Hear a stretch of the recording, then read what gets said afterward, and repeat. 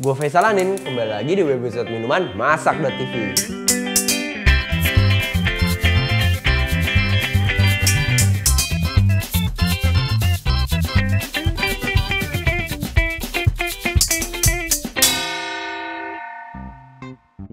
Oke, di episode kali ini gue bakal bikin satu minuman yang paling disukai nama anak-anak masak.tv nih.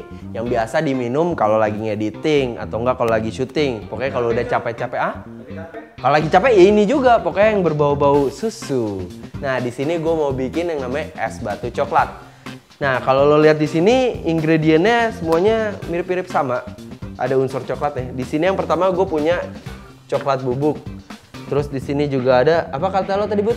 Butiran coklat. Di sini ada meses, di sini ada gula, di sini juga ada susu nih.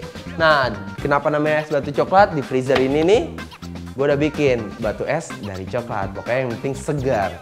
Nah, buat lo yang pengen tahu cara bikinnya, mendingan lo tonton episode ini. Di sini simple aja. Proses yang pertama gue lakukan adalah gue akan menambahkan gula pada susunya setelah gue masukkan gula pada susunya gue bisa panasin nih tapi nggak usah sampai mendidih cuman biar hangat biar gulanya larut oke selagi kita manasin apa namanya susunya nih gue udah siapin nih es batu coklatnya seru kan buat lo yang penasaran bikinnya sebenarnya gampang lo bisa pakai coklat bubuk ditambahin air terus lo dinginin bisa meltingin coklat kalau lo lebih bermodal dikit ya enggak gitu aja Oke, susunya udah hangat, sekarang kita tinggal tuang.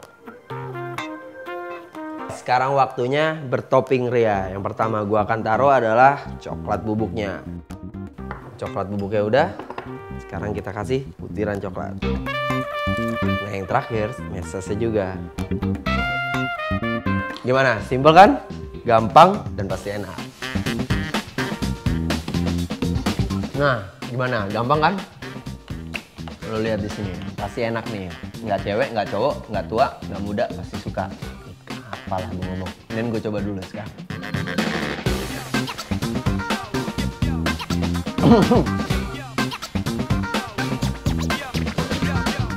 Keselak bubuk coklatnya.